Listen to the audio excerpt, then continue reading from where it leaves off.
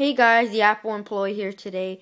Just wanted to do a short little opening of Dumb and Dumber the movie.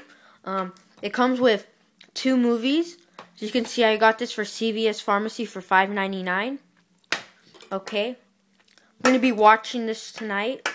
It's going to be a funny movie night tonight. I'm going to open this.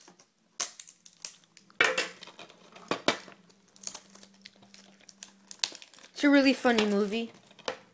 I'm sure you guys all know what Dumb and Dumber is. Oh, it's right there. Sorry. Kind of hard to get out since I'm looking through the camera.